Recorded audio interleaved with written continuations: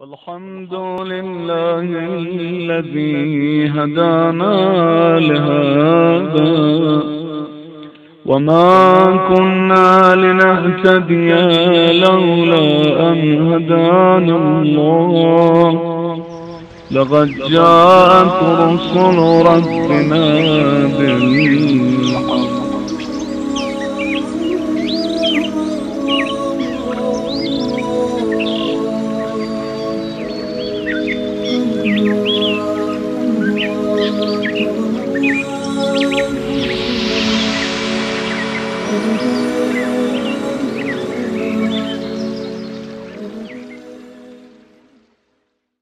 بسم الله الرحمن الرحيم. الحمد لله رب العالمين. وصلى الله على سيدنا محمد وعلى أهل بيته الطيبين الطاهرين الهداة المهديين سيما بقية الله في الأرضين الحجة ابن الحسن المهدي روحي وأرواح العالمين لتراب مقدمه الفداء. وعجل الله تعالى فرجه الشريف واللعنة الدائمة الأبدية على أعدائهم ومخالفيهم ومنكري فضائلهم ومناقبهم وغاصبي حقوقهم ومخربي شريعتهم أجمعين من الآن إلى قيام يوم الدين. آمين رب العالمين.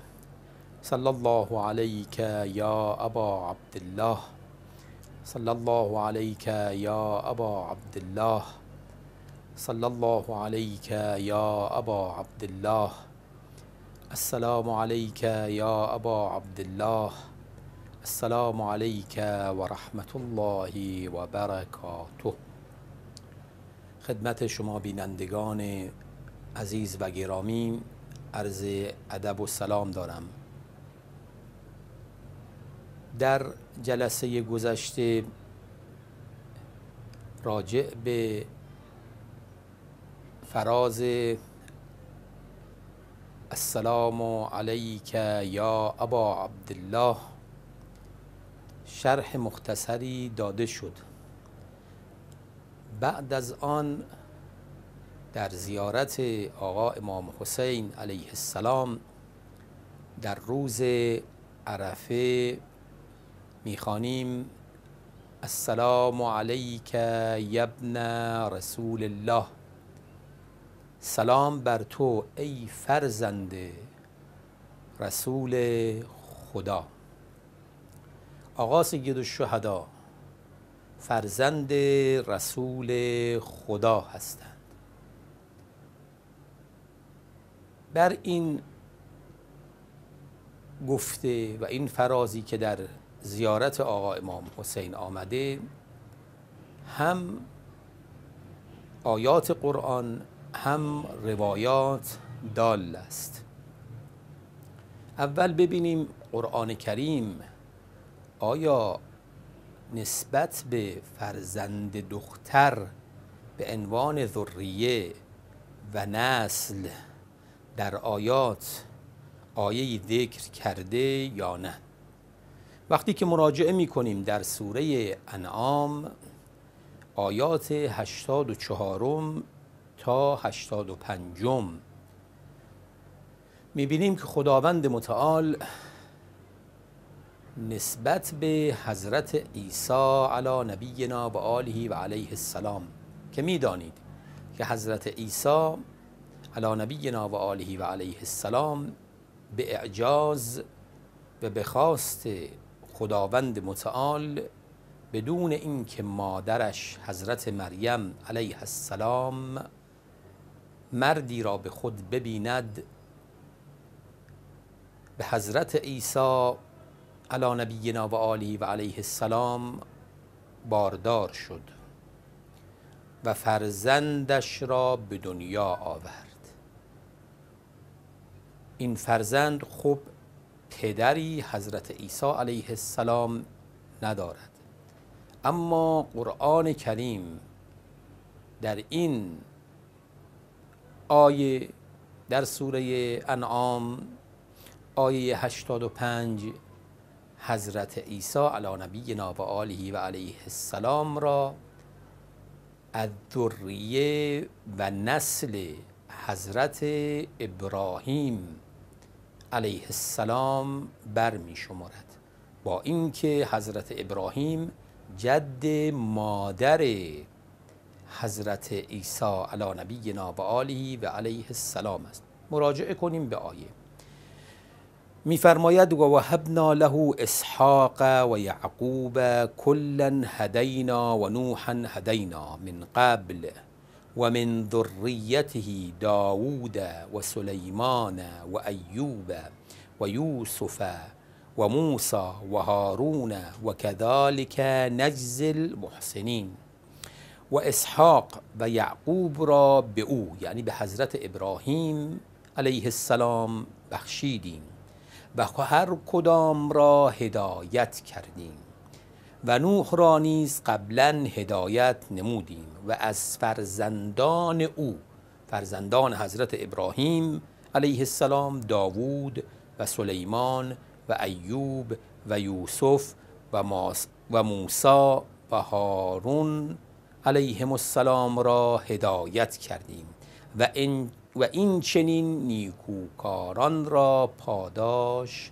می دهیم در آیه 85 میفرماد و زکریا و یحیی و عیسی. شاهد ما و عیساس و الیاس و کل من الصالحین و همچنین زکریا که از ذریه و نسل حضرت ابراهیمه. و یحیی و عیسی و الیاس هر کدام از صالحان و شایستگان بودند. اینجا خداوند متعال در این آیه حضرت عیسی را از ذریه و نسل حضرت ابراهیم علیه السلام برشمرده. در این آیه حضرت مسیح علیه السلام از فرزندان ابراهیم شمرده شده. در حالی که فرزند دختری حضرت ابراهیم است و اصلا پدری نداشتن حضرت عیسی علی نبینا و آله و علیه السلام. پس بنابراین اگر حضرت عیسی فرزند حضرت ابراهیم علیه السلام از طریق حضرت مریم است پس امام حسن و امام حسین اولا هستند که نسبت به پیامبر داده بشود. و بگوییم از فرزندان پیامبر هستند چون واسطه خیلی کمتره. به واسطه مادر حضرت فاطمه زهرا دختر پیغمبره. این دو آقازاده و بزرگوارم نوادگان پیغمبر هستند چون این دو بزرگوار نزدیکتر هستند به پیامبر. تا حضرت عیسی به حضرت ابراهیم علیهم السلام. خب این یک مطلب. پس در قرآن می‌بینیم که خداوند در سوره انعام حضرت عیسی را از ذریه و نسل حضرت ابراهیم قرار داده با اینکه مادر حضرت عیسی از نسل و ذریه حضرت ابراهیم علیه السلام است. اما در سوره آل عمران آیه 61 سراحتا خداوند متعال در این آیه امام حسن و امام حسین را از ذریه و اولاد و فرزندان پیغمبر اسلام صلی الله علیه و آله و سلم بر می شمارد. اعوذ بالله من الشیطان الرجیم. بسم الله الرحمن الرحیم.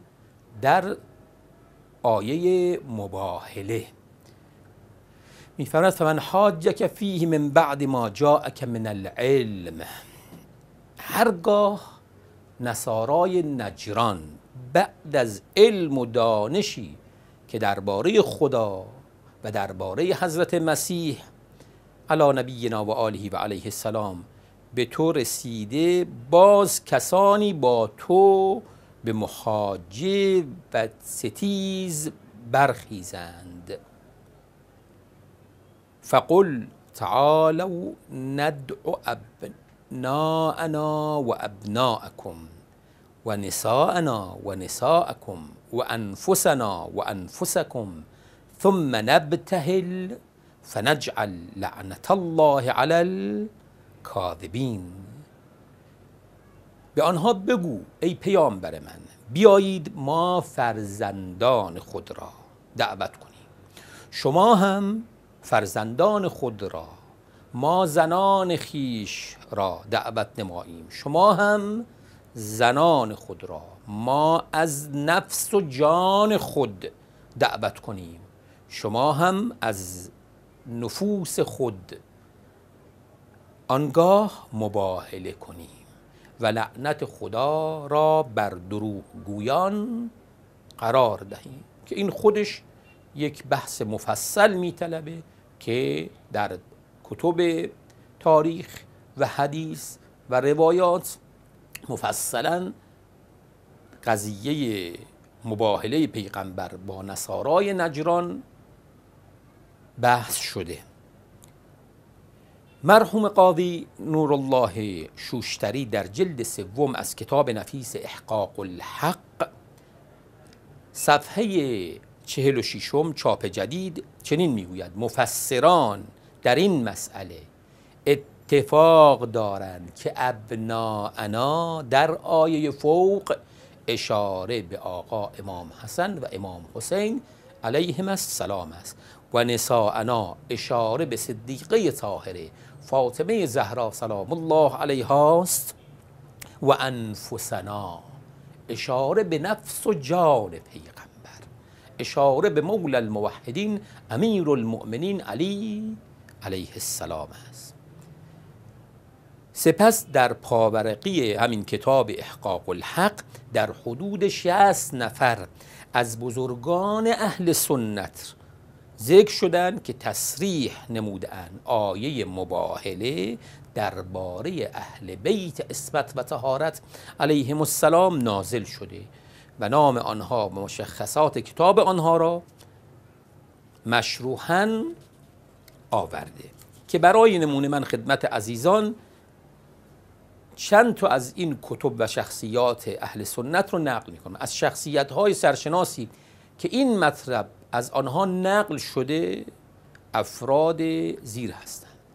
مسلم ابن حجاج نیشابوری کتاب صاحب کتاب معروف که یکی از کتب معتبر اهل سنت است. صحیح مسلم که از کتب ششگانه مورد اعتماد اهل سنته در جلد هفت صفحه 120 چاپ مصر این مطلب رو ذکر کرده احمد ابن حنبل در کتاب مسند مسند احمد امام حنابل است. جلد یکم صفحه 185 چاپ مصر. تبری در تفسیرش در تفسیر معروفش در ذیل همین آیه جلد سوم صفحه 199 192 چاپ میمنیه مصر. حاکم نیشابوری در کتاب مستدرک علی الصحیحین جلد سوم صفحه 150 چاپ حیدر آباد دکن. این روایت رو نقل کرد.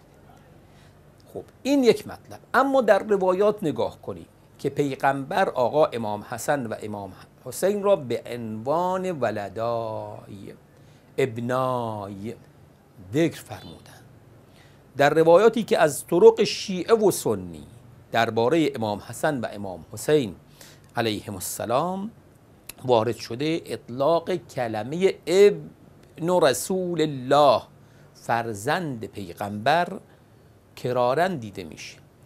مناقب آل ابی طالب علیهم السلام لبن شهراشوب جلد دو صفحه 387 بهار الانوار چاپ بیروت جلد 43 صفحه 284 از معجم الطبرانی به اسناده عن ابن عباس و تاریخ الخطیب به اسنا به اسانیدهم إلى جابر. قال النبي صلى الله عليه وآله وسلم إن الله عز وجل جعل ذرية كل نبي من صلبه خاصة وجعل ذريتي من صلبي و من صلب علی ابن ابی طالب. در کتاب معجم طبرانی از جابر جابر ابن عبدالله انصاری از رسول خدا روایت می کند که فرمودند خدای توانا ذریه و فرزند هر پیغمبری را از صلب وی آفرید. ولی ذریه مرا از صلب من و صلب علی ابن ابی طالب قرار داد. ان کل بنی بنت ینسبون الى ابیهم الا اولاد فاطمه فانی انا ابوهم.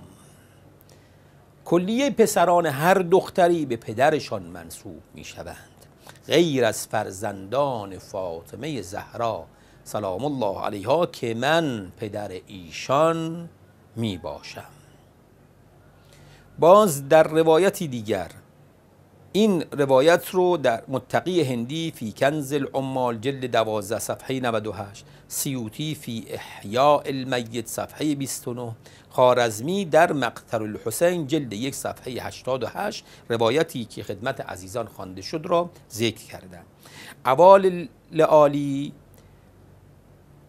جلد سه صفحه 129 این روایت رو از پیغمبر اسلام نقل کرده میگوید وقد ثبت فی الاحادیث الصحیحه عن النبی صلی الله علیه و آله و سلم أنه قال للحسن والحسین علیهما السلام هذان ابنای إمامان قاما أو قعدا.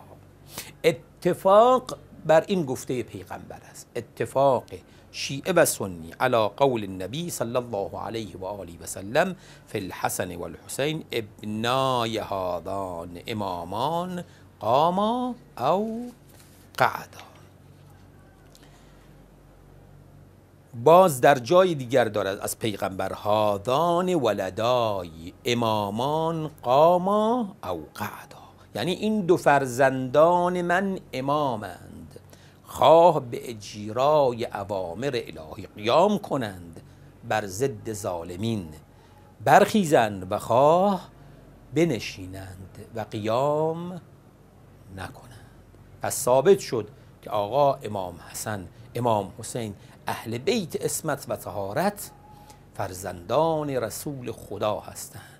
پس وقتی که می‌گوییم السلام علیک یبن رسول الله باید بدانیم که ما داریم سلام میکنیم به فرزندان رسول خدا صلی الله علیه و آله و سلم.